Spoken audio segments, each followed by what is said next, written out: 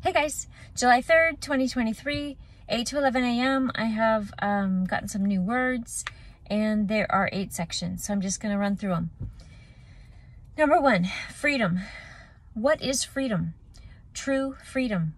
I, the Son, whoever I set free is free indeed.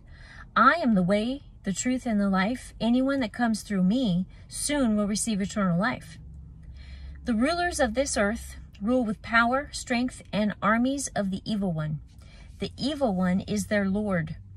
They have sworn their allegiance to him.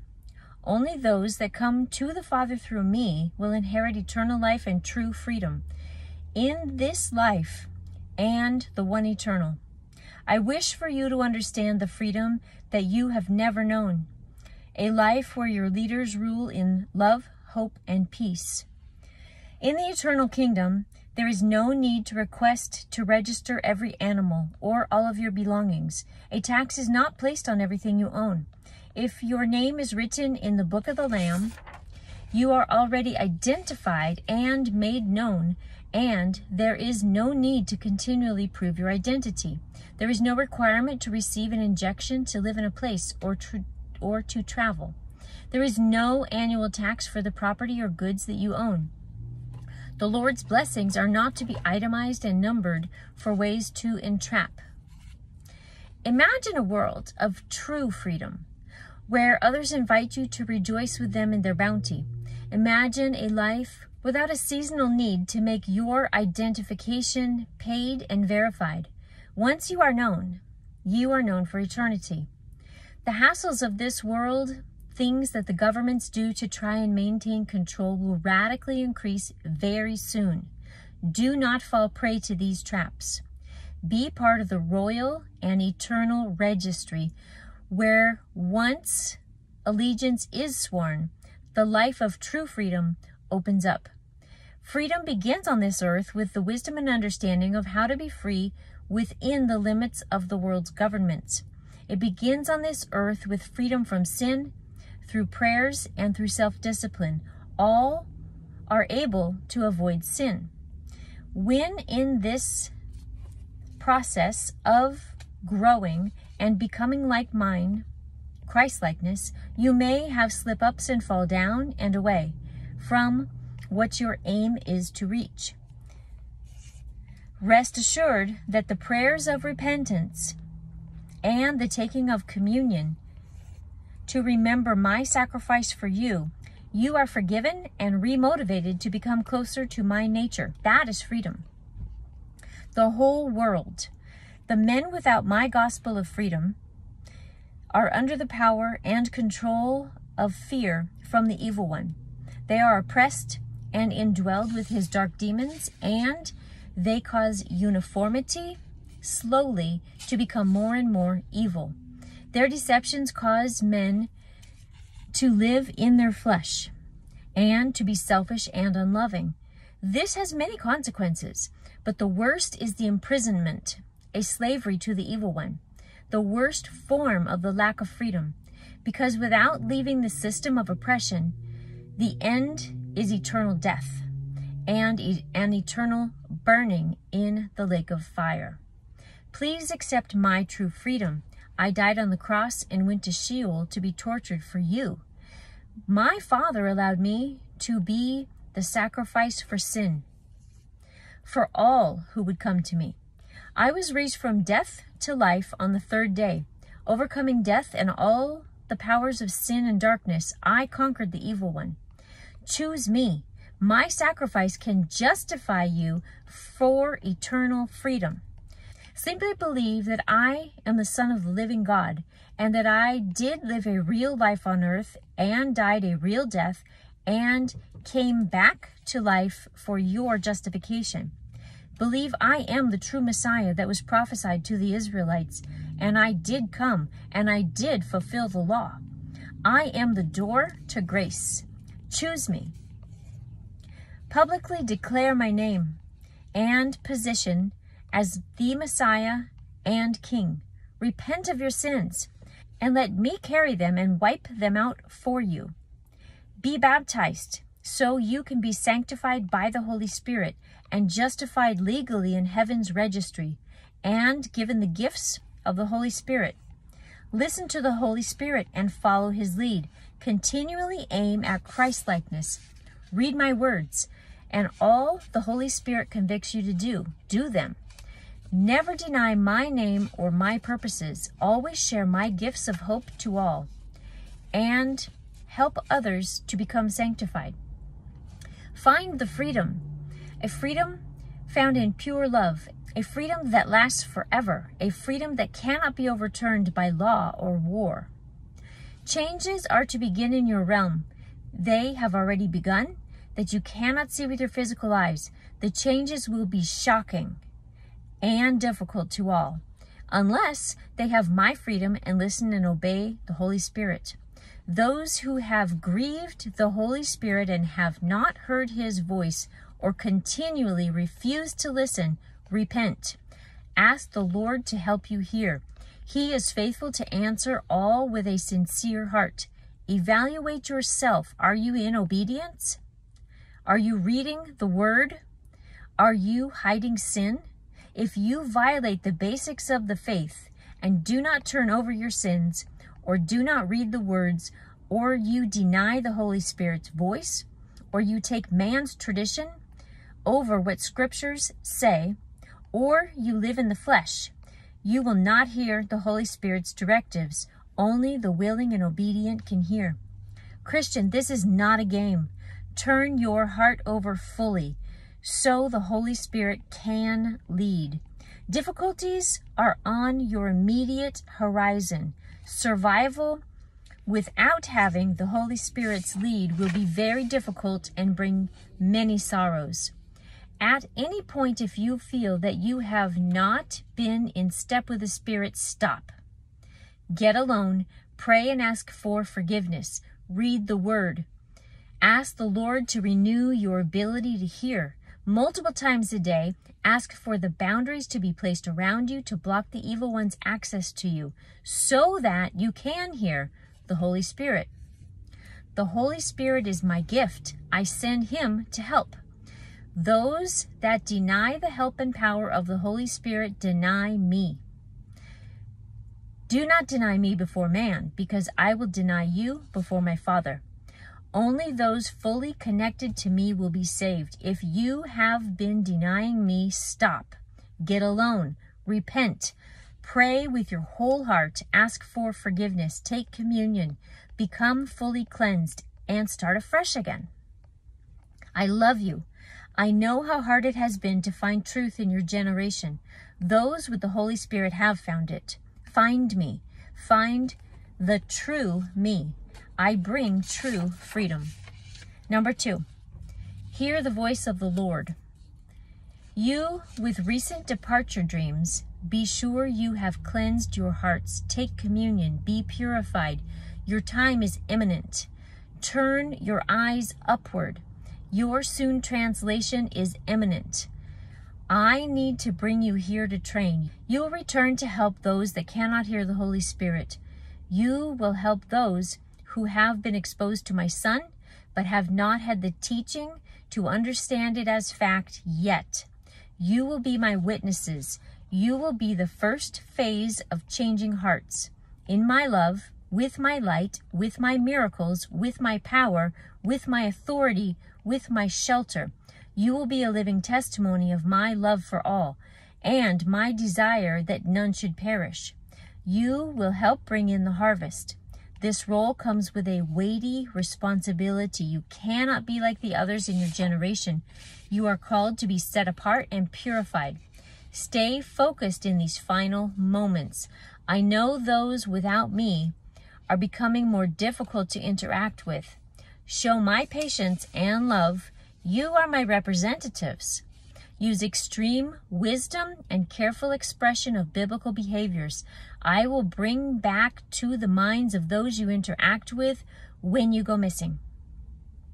Fear not. You are surrounded by my mighty angels. They protect you around the clock. Continually pray that their full power can be released on your behalf so they have full access to all the tools and freedoms they need to do their job the more you pray your boundaries and for the release of their full power, this tightens the wall around you in protection and it helps prevent leaks. This is wisdom. Pray. Number three, to the prideful. There are two groups of prideful humans. The first is easy to identify. They are not mine. They pridefully decide they know better and turn away from me, asking themselves to lead their own life. They typically follow false gods or follow the evil one directly. These are the proud and unsaved. Unfortunately, in your generation, there are many who are prideful who wear the name of my son. These prideful are certain of many things they do not actually know, but they have been told by weak pastors, or they use their human reason to understand without consulting me. The proud will be brought low as I separate the healthy from the unhealthy within the church. The proud will be filled with sorrow. The proud will have a choice to make to submit to me, to humble themselves and come to me with a contrite heart, or to rebel and become embittered and stay for the tribulation. The proud, although repeatedly warned with truth, do not see where they are lacking because of their pride. They are certain their slothful approach to Christianity is accurate. They are certain that their view of salvation is accurate. They are positive that they understand my mysteries. But soon, shame will be their clothing, and tears will be their drink. I will not protect the prideful not until they repent of their pride and come to me with a contrite heart. I will not use the prideful to do any miracles. The prideful are a sickness within the church. They must be chastised and sorted out from my good, faithful workers that love me with their whole heart. Soon the shame of all of the proud is about to be evident. I say, repent with your whole heart. Come to me fully but I see the lackadaisical responses. Even when the warnings from the Lord God come, they are sure of themselves. My anger burns hot at this stench. To consider oneself to be equal with the Lord God Almighty, no. I will not send my angels to these, not until they repent of their wickedness and their pride. Number four, those who are in good standing with me in obedience, you are to be praised. You are to be used as my hands and feet on this earth. You will have my full protections. Do not fear. I move. Be prepared to be used. We will change the world. You are a gift to me. My faithful who love and adore me, these that so long to be with me, but at the same time they fear that they must be careful. Have no fear of judgment. I will keep you separated. It will be miraculous. All will see. Claim me as the source. Do not allow man's logic to try and bring forth ideas as to why you have been spared and the recipient of my blessings. I am the reason and I receive the praise. I will provide for those with true faith. My loves, soon you will come here for the Sabbath rest. Hold on, stay in me. This is the most exciting time of the church. Waves of people will come to me, and you are the workers that will help with this. Rejoice. Number five, hearts are soon to be revealed. I see hearts. No amount of public piety will hide the truths of the heart. Those with pure hearts will be set to work for me as leaders and as ones I work my miracles through. But those with hearts that are not pure will be exposed like a woman with her skirt thrown up. All the world will see who is safe and spared and who has difficulty. The shamed will be exposed. Their nakedness will show the position of their heart. If you are shamed, repent. If you see the shamed, offer my help and encourage their repentance. Never be unkind or proud in their obvious grief. Their shame will be enough consequence. Offer my love and help without judgment. I am the one who serves judgment. Man is never to judge another man. Love the Lord your God with all your heart, mind, and soul, and love your neighbor as yourself. Apply this rule from this day forth. Number six, I am the Lord God Almighty, and I speak. Turn your eyes upon Jesus, my holy Son, the Messiah of the world. There is no other. Do not hear man's soon lies about a Messiah. This is a falsehood. This is not the Antichrist. Some will say such. He is just preparing the way for the Antichrist. Do not be fooled. Read my word. Read my son's words and know them. Man's soon rising Messiah will be very convincing. To those who do not know of my son's words, he will use similar words, but his claims are filled with falsehoods. Do not hear or believe these words. Do not speak his name. Only speak the name of Jesus, the one and only true Messiah. This is the time to stand for your faith and for truth. This is the time to be bold against the crowds and their beliefs. Do not agree with them. Do not consume the king's leaks of news. Do not take part in the soon falsehood. Stay strong and listen to the Holy Spirit for guidance. Stand firm in your spiritual armor. Pray your borders of protection about you and release the full power of the angels to protect you, your family, and your property. It is here. Do not delay. I warn. Soon hearts will be revealed. Number seven, do you hear it? The trumpet. We blow the trumpet in the heavens to warn of the war. Be prepared, it is coming. Peace is ending. The beginning of sorrows is to begin and has begun already. This is not the tribulation. The tribulation cannot ensue until mine have been removed. The sorrows must occur to sort the wheat from the tares. Those who heed the warning will be protected. Those that do not will be in shame. But simultaneously, to mine the ministry of provisions through the sorrows. My true believers will be experiencing my provisions and my miracles. Also, my prodigals will be returning. Rejoice, have hope, do not fear, my beloveds. The day of sorting begins. Number eight, I speak and who hears? My sheep hear my voice. Hear me. Hear the voice of the Lord. I love you. I want good for you and not harm. Come to me. Be humbled before me. Understand the gravity of what is before you. Give me your burdens. Lay them down. The cares of this world are temporary. Invest yourself in what is eternal. Make me and my word your highest priority.